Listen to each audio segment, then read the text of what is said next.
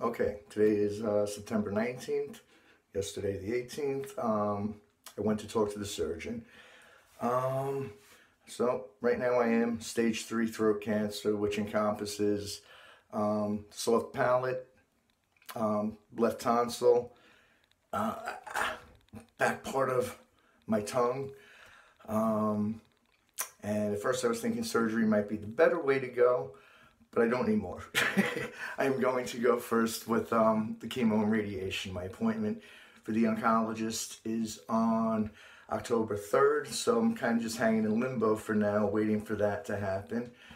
Um, but basically what the surgeon said they would do, which kind of, I thought it was just going to be, we'll just go in and take out this lump or whatever. Um, no big deal. I, well, I thought big deal, but I know I didn't think it was going to be such a big deal.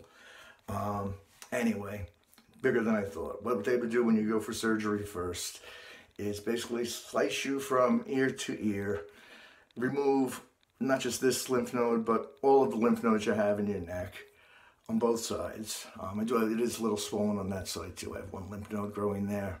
But anyway, um, move, remove part of the upper palate, um, part of the tongue, and then they would take a skin graft from your uh, from my forearm, I guess about three by six inches when he showed me, and that would become my new palate. Uh, the other thing they would also end up doing probably is sewing lower part of your jaw and to get into whatever they have to get to.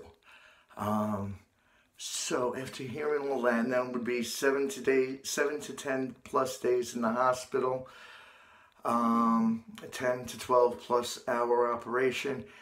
I reality is setting in a lot bigger with this. How serious it is, um, and my smoking is not helping. I really hope I can quit. I have to try, especially if I'm going to be going through all the treatments. It's just silly to continue. It's outright stupid. But um, but I haven't been known for being the brightest.